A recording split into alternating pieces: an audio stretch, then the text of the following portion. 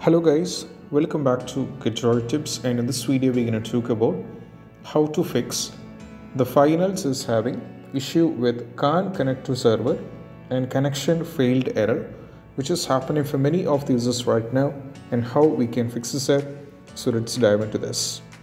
The first one is all about we have to do a restart on the PC. So just go over here in the Windows icon, go to the power icon, go for the restart. Once the restart is done, just try launch the game and that will be working fine. This is what we have to do as the first step.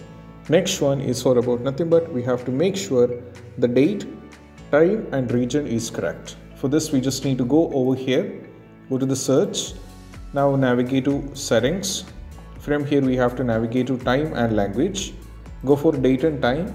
Make sure the uh, time and time zone, both all these things should be turned on and just go back, go to the language and region. Make sure here you have to select the geography according to your country. So you have to select it. Once you set this up, just close everything and go back and try launch the game. And you have to see whether that is going to work for you guys or, or not. If that is not working, don't get panicked. We can move to the third step. That is all about we have to allow the game to Windows security. For this reason, we have to go over here, navigate to the control panel now from here go to system and security, go for Windows Defender Firewall.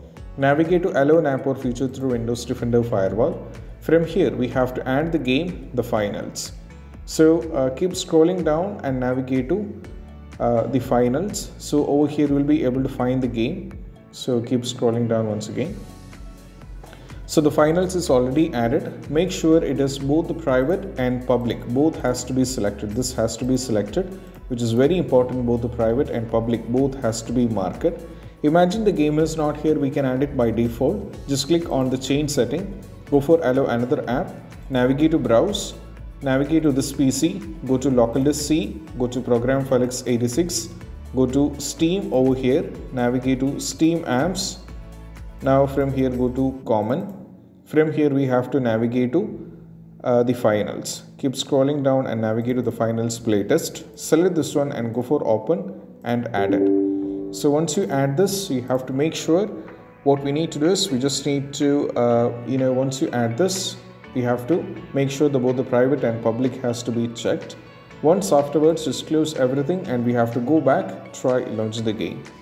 Next one, even tried with this. If you're still having with the issue, next one, is all about we can run few commands in the cmd so just go over here so we need these commands which I'll be giving in the description so you don't have to worry. So let me copy the first command that is ipconfig flush DNS.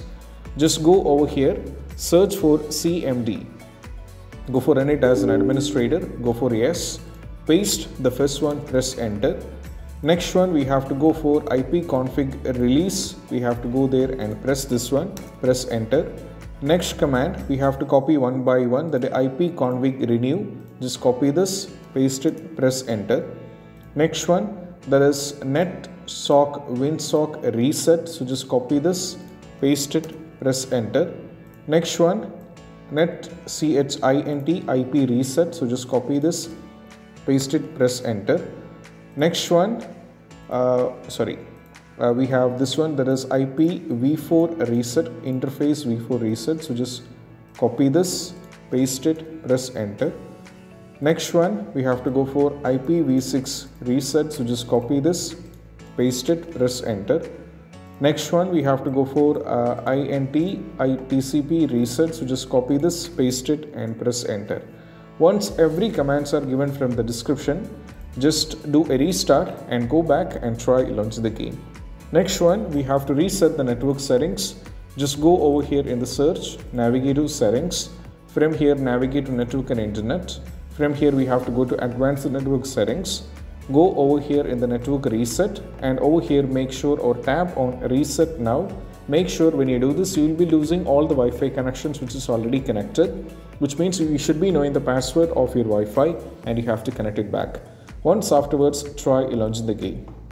Next one you can try out is all about we always use wired connection which is a very important one we have to use the wired connection instead of uh, using the Wi-Fi use the wired connection and also you can try updating the windows parallelly just go over here in the search and navigate to settings go for Windows Update and just update the Windows, which is very important. And also we have to disable the manual proxy. Just go to Network and Internet. Now from here, go to the proxy. Make sure if with the manual proxy is enabled, you have to disable it. Once afterwards, try and that will be working fine. So these are the possible workarounds and I hope this video is helpful and if you find this video helpful don't forget to subscribe and click on the bell icon for more notification. See you soon in the next video. Peace out. Bye bye.